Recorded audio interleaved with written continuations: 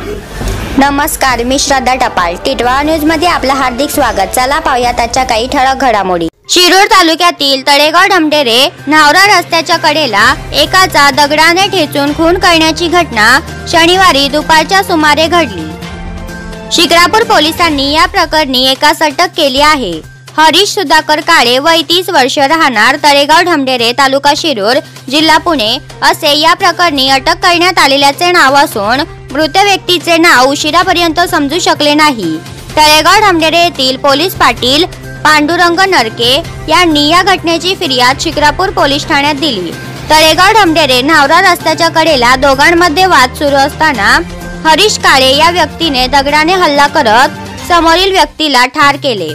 याबाबतची माहिती मिळताच पोलीस पाटील पांडुरंग नरके यांनी याबाबतची माहिती शिक्रापूर पोलिसांना दिली. शिक्रापूर पोलिसांनी घटनास्थळी धाव घेत मृतदेहाचा पंचनामा करून मृतदेह शवविच्छेदनासाठी पुणे येथील ससून रुग्णालयात पाठवून दिला. पोलीस उपनिरीक्षक राजेश माळी या घटनेचा पुढील तपास करीत आहेत. टिटवा न्यूजसाठी प्रतिनिधी विजय ढमडेरे यांच्यासह व्हिडिओ अट क्षितिश टपाल. तर या होत्या आजच्या काही ठळक घडामोडी. पुन्हा भेटूया याच ठिकाणी. धन्यवाद.